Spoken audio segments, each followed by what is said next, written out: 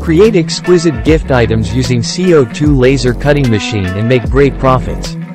CO2 laser cutting machines can help you create beautiful gift items like calendars, clocks, wall art, mementos, desk caddy, educational toys, and more. We would take an example of creating a personalized table lamp with a photo.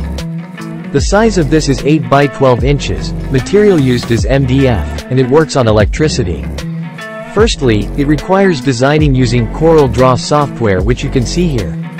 Next step, once it is designed, you need to set the MDF sheet on the machine and give the requisite command to the machine for cutting the MDF sheet to the various components of a personalized photo table lamp.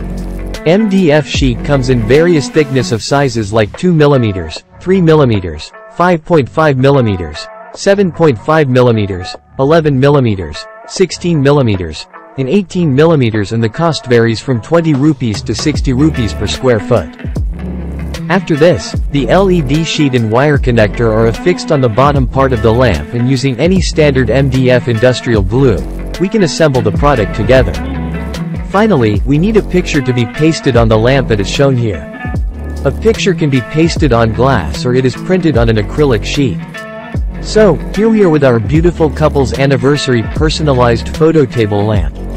This product is sold in the market for 400 rupees to 500 rupees and can help you with 50 to 100% profit depending upon the scale of the operation.